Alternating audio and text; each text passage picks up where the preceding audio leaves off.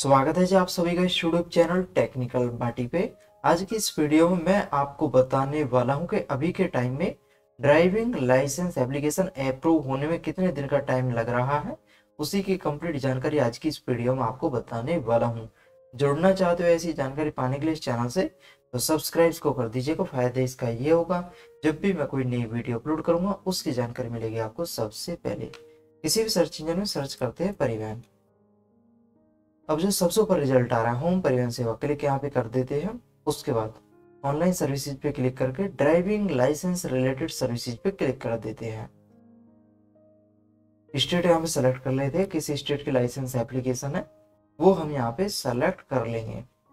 उसके बाद इस तरीके से पेज ओपन होके आ जाता है। इसके पे क्लिक कर देते हैं, उसके बाद एप्लीकेशन स्टेटस पे क्लिक करते हैं। यहाँ पे एप्लीकेशन नंबर डालते हैं, यहाँ पे डेट ऑफ़ बर्थ डालते हैं, ये कैप्चा यहाँ पे डाल के सबमिट पे क्लिक कर देते हैं।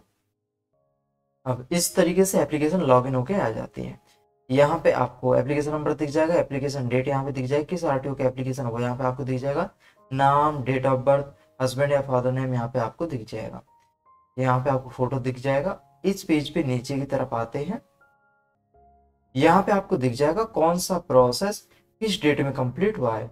तो स्कूटनी डॉक्यूमेंट वेरिफिकेशन जो कंप्लीट हुआ था, उसकी डेट यहाँ पे दिख जाएगी। फ़ोटो सिग्नेचर या बायोमेट्रिक किस डेट में कंप्लीट हुई थी, वो डेट यहाँ पे आपको दिख जाएगी। वहीं जो ड्राइविंग लाइसेंस अप्रूव हुआ था, किस डेट में अप्रूव हुआ था, वो डेट आप यहाँ पे देख सकते हो। कहने का मतलब ये है कि स्कूटनी या डॉक्यूमेंट वेरिफिकेशन भी 16 सितंबर 2023 में कंप्लीट हुआ था इस एप्लीकेशन का। बायोमेट्रिक या फ़ोटो सिग्नेचर कैप्चर का प्रोसेस भी कंप्लीट 16 सितंबर को हुआ था।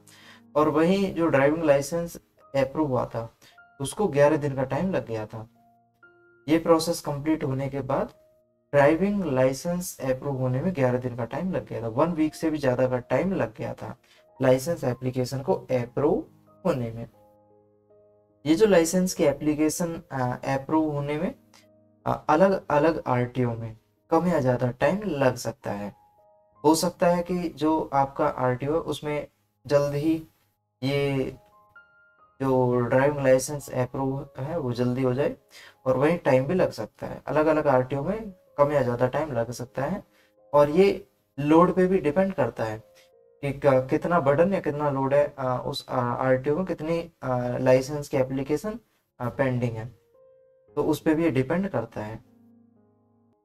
आप में से काफ़ी लोगों के कमेंट आ रहे थे कि, सर, जो हमारी लाइसेंस की एप्लीकेशन है, उसको काफ़ी टाइम हो गया है, लेकिन अभी जो अप्रूव का प्रोसेस है, वो कंप्लीट नहीं हुआ है। तो ये कंप्लीटली डिपेंड करता है कि उस आरटीओ में कितनी एप्लीकेशन पेंडिंग में है, ये स्टाफ पे भी डिपेंड करता है। अगर वहाँ पे स्टाफ की शॉर्टेज है स्टाफ कम है वहाँ पे तो उस केस में लाइसेंस की एप्लीकेशन को अप्रूव होने में ज़्यादा दिन का भी टाइम लग सकता है। कभी कभी कुछ टेक्निकल ग्लिंच आ जाते हैं, कुछ टेक्निकल प्रॉब्लम आ जाती है, इस वजह से भी लाइसेंस की एप्लीकेशन को अप्रूव होने में टाइम लग सकता है। तो ये जो है, ये completely R T O to R T O vary करता रहता है। किसी किसी आरटीओ में हो सकता है बहुत जल्दी लाइसेंस की एप्लीकेशन अप्रूव हो जाती हो किसी किसी में टाइम लग सकता है भाई। तो ये कंप्लीट इन्फॉर्मेशन है। बाकी यहाँ पे अभी दिखा रहा है प्रोसेसिंग में printing of DL in form seven तो ये अभी जो लाइसेंस प्रिंट है, वो अभी प्रोसेसिंग में ही है। जैसे ही लाइसेंस प्रिंट हो जाएगा तो उसके बाद ड्राइविंग लाइसेंस डिस्पैच होगा और डिस्पैच जैसे ही कंप्लीट होगा तो एक स्पीड पोस्ट ट्रैकर नंबर लग जाएगा। उसके थ्रू हम ऑनलाइन चेक कर सकते हैं कि हमारा लाइसेंस कहाँ पर पहुँचा है। उसका मैसेज भी मोबाइल पे आ जाता है। जैसे ही कंप्लीट होगा ड्राइविंग लाइसेंस डिस्पैच का और जैसे ही वो स्पीड पोस्ट ट्रैकर नंबर लगेगा तो उसका मैसेज मोबाइल पे भी आ जाता है। उसके थ्रू हम ऑनलाइन चेक कर सकते हैं कि लाइसेंस कहाँ पर पहुँचा है। और जैसे ही डिस्पैच होता है तो जो स्पीड पोस्ट ट्रैकर नंबर नीचे की तरफ़ आओगे तो यहाँ पे भी आपको दिख जाएगा। उम्मीद है जी वीडियो आज की आपको पसंद आई होगी। वीडियो अगर आज की आपको पसंद आई है तो इसको लाइक कीजिए शेयर कीजिए। बाकी लाइसेंस रिलेटेड और भी जानकारी आप देखना चाहते हो तो यहाँ पे लाइसेंस डाल दीजिएगा। चाहे लर्निंग लाइसेंस हो permanent driving licence renewal duplicate address change name change और भी काफ़ी लाइसेंस रिलेटेड वीडियो मैंने अपलोड कर रखी है, इनको आप देख सकते हो। सोशल साइट पे जुड़ना चाहते हो तो अबाउट पे क्लिक करके इस पेज पे नीचे की तरफ़ आओगे। सोशल साइट के लिंक दिए हुए हैं, सोशल साइट पे आप जुड़ सकते हो। प्लेलिस्ट की बात करें तो काफ़ी इंपॉर्टेंट कैटेगरी से रिलेटेड वीडियो मैंने अपलोड कर रखी है। इनको आप चेकआउट कर सकते हो। ऐसे ही वीडियो पाने के लिए जुड़ना चाहते हो इस चैनल से तो सब्सक्राइब को कर दीजिएगा। फ़ायदा इसका ये होगा, जब भी मैं कोई नई वीडियो अपलोड करूँगा, उसकी जानकारी मिलेगी आपको सबसे पहले। आज के लिए बस इतना ही, मिलते हैं आपसे अगली वीडियो में नई जानकारी के साथ। तब तक के लिए बाय टेक केयर